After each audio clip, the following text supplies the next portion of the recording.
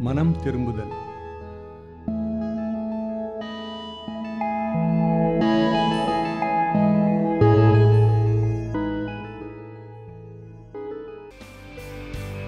அது முதல் இயேசு மனம் திரும்புங்கள்.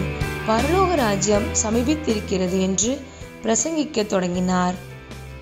மத்தேயு நான்காம் அதிகாரம் பதினேழாம் வசனம்.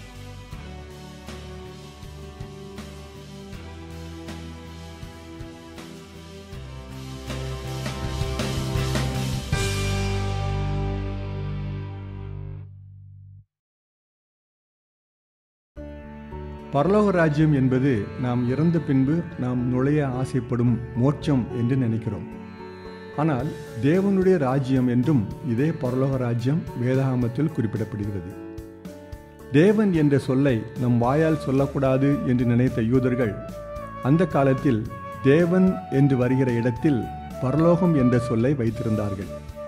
இவ்வாறாக சில வேத அறிஞர்கள் நமக்கு சொல்கிறார்கள்.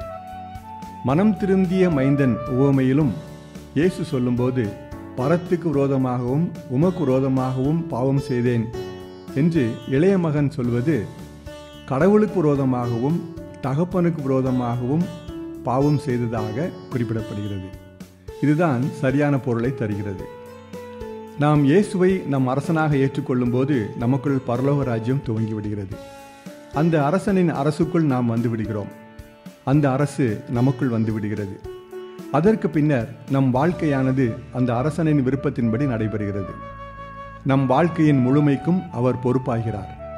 நமக்கான தேவைகளையும் ஆசீர்வாதங்களையும் அவர் தருகிறார். இதற்கு உதாரணமான பல வசனங்களை நாம் சொல்ல முடியும். ஆனால் ஒரு முக்கியமான வசனத்தை இப்போது கேட்கலாம். முதலாவது தேவனுடைய ராஜ்யத்தையும் அவர் நீதியையும் தேடுங்கள். அப்பொழுது இவைகள் எல்லாம் உங்களுக்கு கூட கொடுக்கப்படும். இயேசுவின் காலத்தில் யூதர்கள் ஒரு அரசனை எதிர்பார்த்திருந்தார்கள். அந்த அரசன் தாவிதைப் போல யூதர்களை அடிமைப்படுத்தி இருக்கும் ரோமர்கள் என்னும் தங்கள் எதிரிகளிடம் இருந்து தங்களை காப்பாற்றி விடுதலை தருவார் என்று நினைத்திருந்தார்கள். ஆனால் இயேசுவோ என் அரசு இந்த உலகத்துக்கு உரியது அல்ல என்றார். மேசியா என்ற அரசன்தான் நான் என்றார் இயேசு.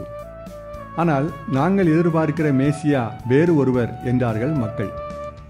இன்றும் இயேசு நம்மை தனது அரசை ஏற்றுக்கொள்ளும்படியாக கேட்கிறார். நாம் விரும்புகிறதை செய்யும் அரசன் அல்ல அவர். அப்படி அவர் செய்தால் நாம் தான் அவருக்கு அரசர்களாகவும் அரசிகளாகவும் இருப்போம். அவர் சொல்கின்றவற்றை முழுமையாக ஏற்றுக்கொள்கிறவர்கள் மட்டுமே அவரது அரசில் இணைய முடியும். மனம் திரும்புதல்தான் அதற்கான ஒரே நிபந்தனை. நம் பழைய வாழ்க்கை முறை மாற்றப்பட்டு நம் அரசனாகிய இயேசுவே ஆட்சி செய்யும் புதிய வாழ்க்கைதான் அந்த மனம் திரும்புதல். சிந்தனை. இயேசுவை அரசனாய் ஏற்கும் வாழ்வுதான் மனம் திரும்புதல். இந்த கர்த்தரின் அரசு நம் அருகிலேயே இருக்கிறது.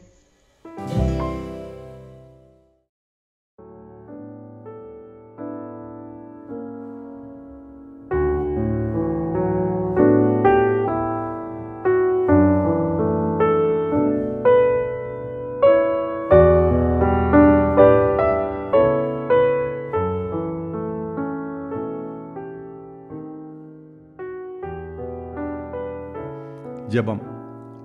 ராஜாதி ராஜாவாகிய எங்கள் கர்த்தாவே உம்மை அரசனாக எங்கள் வாழ்க்கையில் ஏற்றுக்கொண்டு மனம் திரும்புதலின் கனி கொடுக்கிற வாழ்க்கை வாழ எங்களுக்கு அருள் தாரும்.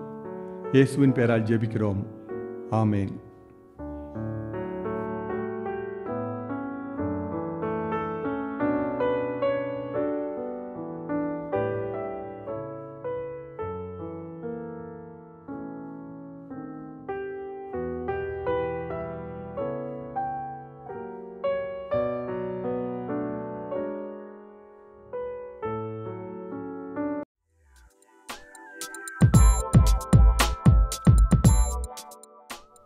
இந்த தியானங்கள் உங்களுக்கு ஆசீர்வாதமாக இருந்தால் லைக் பண்ணுங்க. சப்ஸ்கிரைப் பண்ணிட்டு பெல் ஐக்கானை ப்ரெஸ் பண்ணுங்க.